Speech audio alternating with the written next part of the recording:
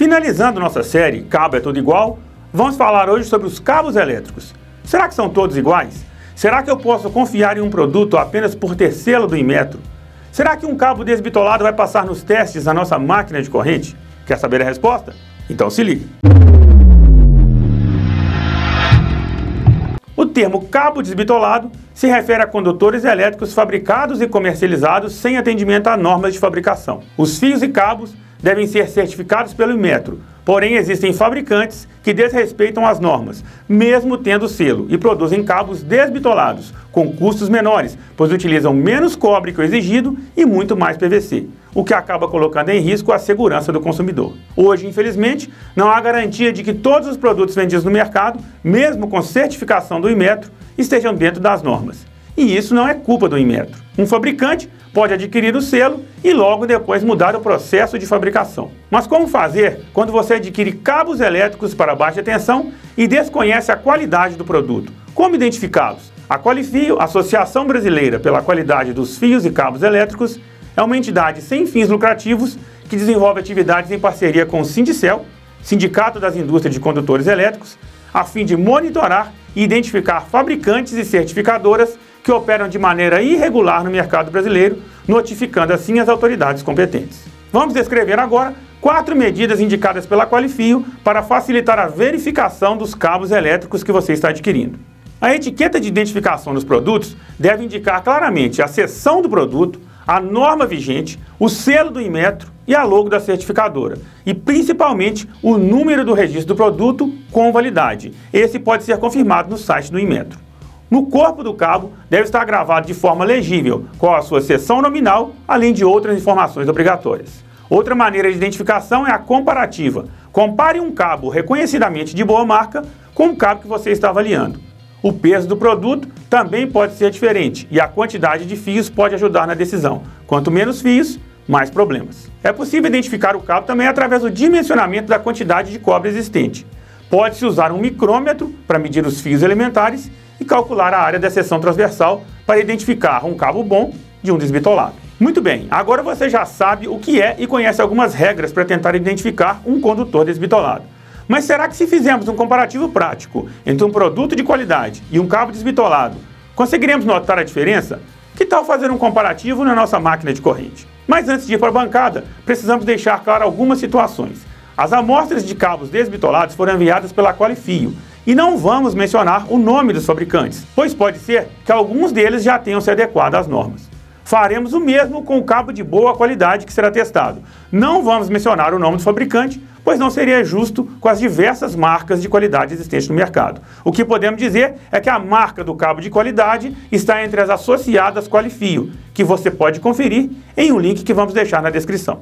Agora sim, chega de papo e vamos para a bancada. Muito bem, vamos iniciar nossos testes práticos. Antes da nossa máquina de corrente, se eu mostrar apenas três pedaços de cabo como está aqui, por enquanto nós vamos chamar pelas cores, vermelho, amarelo e verde, você conseguiria identificar qual é o de boa qualidade e quais seriam os desbitolados? É muito difícil apenas visualmente. Você precisaria, para começar a inspecionar, ou de um micrômetro ou de um paquímetro digital. Então vamos fazer uma primeira medição externa para ver se a gente vai encontrar alguma diferença. Vou pegar primeiro o vermelho. Vamos ver quanto é que eu vou, quanto é que eu vou obter. 3,37. Isso aqui a gente está medindo o diâmetro. 3,37. Amarelo. 3,49. Pouca diferença. E agora 3,66. Perceba que eu tive variações, mas é, estava dentro de uma certa faixa. Por chute aqui, em relação à espessura, eu poderia dizer que o vermelho talvez seria o desbitolado, porque os outros têm uma camada maior. Mas a gente sabe que nem sempre isso é o principal fator. Vamos dar uma olhada agora, vamos mudar esse ângulo de visão, vamos ver a seção transversal e ver se a gente consegue identificar quais seriam os desbitolados e qual seria aquele que está dentro das especificações? Muito bem. Agora estou com um outro ângulo de visão. São três condutores de 2,5 milímetros quadrados. Agora já fica um pouco mais fácil a gente começar a dar o nome aos bois. A gente pode analisar aqui que o cabo vermelho tem muito mais cobre, tem visivelmente mais cobre em uma camada menor de isolação. O amarelo, a gente consegue ver nitidamente uma camada de isolação muito maior, apesar de ele ter uma certa quantidade de cobre. E o verde, muito pouco cobre e muito mais isolação. Então aqui a gente já conseguiria dizer, talvez conseguiria dizer que o vermelho é o cabo de boa marca e os outros dois seriam os desbitolados. Vamos decapar esses cabos e ver os filamentos internos? Muito bem, agora que nós já sabemos que o vermelho é o cabo de qualidade e os outros dois são os desbitolados, vamos tentar mostrar aqui mais algumas coisas. Veja como é difícil, inclusive, para a gente conseguir mostrar isso para vocês. O, esse, esse cabo aqui tem 18 filamentos. Esse aqui tem muito mais. Lembra na parte teórica que nós falamos? Quanto menos fios, mais problemas. Veja que eu tenho 28 filamentos aqui. E, mesmo, e ele é um cabo desbitolado. Aqui eu já teria a mesma quantidade que eu tenho nesse de boa qualidade. Agora nós vamos medir cada um dos filamentos para a gente ver se essa quantidade, por exemplo, do amarelo faz tanta diferença assim. Muito bem, vamos medir os filamentos. Já deixei aqui preparado. Vou medir um filamento primeiro do vermelho. 0,39. Agora eu vou medir do amarelo. Lembra que nós falamos que o amarelo tem muito mais filamentos que o vermelho? Mas vamos ver quantos filamento de quantos milímetros? 0,24. Perceba que a quantidade aqui não fez muita diferença. Eu tenho 0,24, tenho um filamento muito mais fino, apesar de ter uma quantidade muito maior. Agora vamos medir o verde. 0,25. Então nós podemos perceber nitidamente que os dois cabos desbitolados têm filamentos com um diâmetro muito menor. Se eu colocar nas minhas mãos apenas um, um, um trecho de filamento de cada um deles, é nítida a diferença. E mais um detalhe: esse aqui então tem 18 fios, esse tem 28, porém além da espessura ser menor, ele tem 50, ele tem uma resistência elétrica 57% maior do que o indicado. E o verde apesar de ter a mesma quantidade e ser, e ser menor, a, a espessura dela, ele tem uma resistência elétrica 161% maior do que o indicado. Imagine corrente elétrica passando nesse cabo em comparação, por exemplo, com o cabo de boa qualidade. Quer ver isso na prática?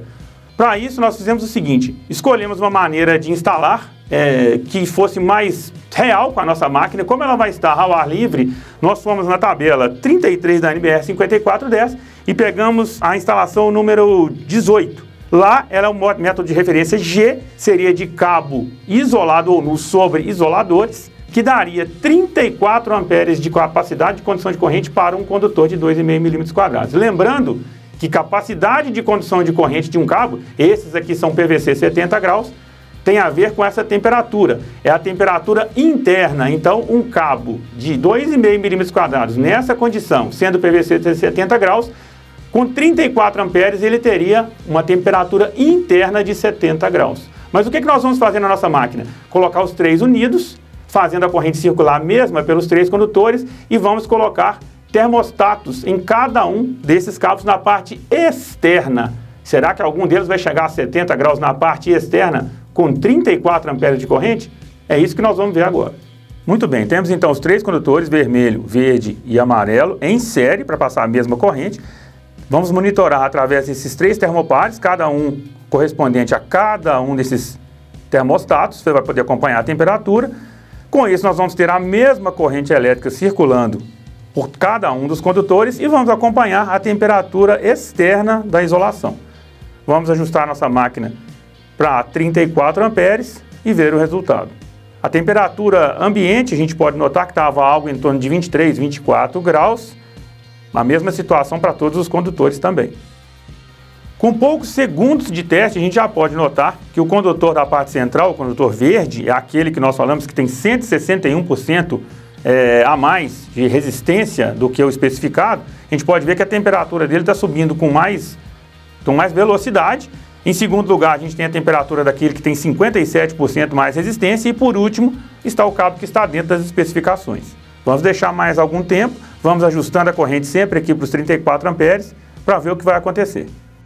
Pessoal, passou pouco mais de 3 minutos de teste. Olha a condição que nós temos. Condutor vermelho, que é o que está dentro das especificações, 40 graus, Condutor verde, aquele com 161% mais resistência, 72 graus. Aqui eu já estou fora do que a gente chama de capacidade de condução de corrente. Se eu tenho 70 ah, graus no, na, na parte externa, eu já não posso considerar isso aqui.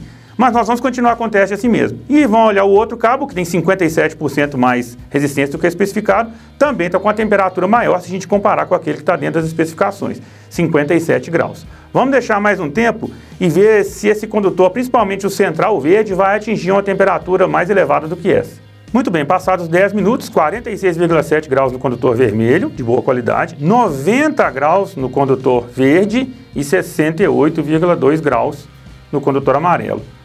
Se eu raspar uma ferramenta, parte metálica, no condutor de boa qualidade, a isolação não se desfaz. Agora eu vou no condutor verde, eu consigo facilmente destruir a isolação.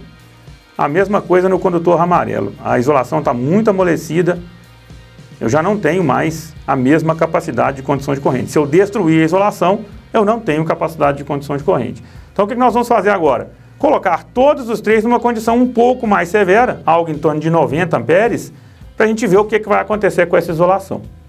Com pouco mais de 90 amperes passando pelos cabos em muito pouco tempo, em alguns segundos, nós tivemos destruição total das isolações dos dois condutores desbitolados. Evidente que a gente vai ter alteração também na isolação do condutor de boa qualidade. Ele ficou com a temperatura, com uma corrente elétrica muito maior do que aquela que ele pode suportar por um tempo muito grande. Ela está amolecida, mas eu só consigo verificar isso passando uma ferramenta metálica e o resto, as imagens falam por si. A gente consegue ver claramente que destruiu completamente a parte interna e eu tive o rompimento de vários filamentos, inclusive do condutor verde, aquele que tem 161% mais resistência. Até com as mãos eu consigo facilmente retirar a isolação dos cabos desbitolados, coisa que eu não consigo no condutor de boa qualidade. Vamos ver com mais detalhes os cabos. Como eu falei, eu tive uma ligeira deformação daquele condutor de boa qualidade, é evidente que isso iria acontecer, mas veja o condutor verde, aquele que tem uma resistência elétrica muito mais alta. Essa, isso aqui é uma liga de cobre-alumínio, pessoal, não é, o co não é cobre puro. Então, veja que ele se rompeu. Vários filamentos começaram a se romper justamente pela corrente elétrica que circulou nele. Vamos a mais um teste. As pessoas sempre falam que um dispositivo de proteção vai atuar quando a gente faz esse tipo de teste com sobrecarga extrema, então vamos fazer uma não tão extrema. Vamos colocar, vamos simular aqui dois curtos-circuitos de 3 segundos com uma corrente elevada. Vai ser algo em torno de 140 amperes. Vou fazer o primeiro curto de 3 segundos e mais um. Os dois condutores de 2,5 milímetros quadrados em série e vamos ver o que aconteceu com a isolação. Lembrando que por mais que seja extremo, eu estou submetendo os dois condutores à mesma condição. Se eu vier aqui com a ferramenta metálica, facilmente consigo ver que a isolação do cabo verde destruiu completamente, coisa que eu não consigo ver no condutor de boa qualidade. Conseguimos notar facilmente que na tentativa de obter lucro, algumas empresas estão colocando instalações elétricas em risco. Como nem sempre é fácil aplicar todas as regras que mencionamos na escolha de cabos, para ajudar, o profissional pode consultar a página da Qualifio e verificar, como já mencionamos, os diversos fabricantes associados. Em breve, entrará em vigor também o selo Qualifio, mais um critério que irá ajudar no momento da escolha de seus fios e cabos elétricos. O selo Qualifio estará presente em formato QR Code, impresso na etiqueta do fabricante atestado, onde no momento da compra, basta você fazer a leitura do QR Code com seu celular, por exemplo, que automaticamente você será direcionado para a página da marca do fio ou cabo que pretende comprar. Assim, você saberá no ato da compra se o cabo que está adquirindo é ou não confiável. Podemos concluir depois dessa série de vídeos que cabo não é tudo igual. Existem aplicações diferentes para cabos diferentes e mesmo dentro de uma mesma aplicação, podemos ter produtos com certos diferenciais em relação a outros. Então nada de invenção ou gambiarra. Saiba escolher o cabo certo de acordo com as suas necessidades e muito cuidado com a pirataria, pois, como já mencionamos em outros vídeos, ela está presente com muita frequência nos materiais elétricos. Até a próxima!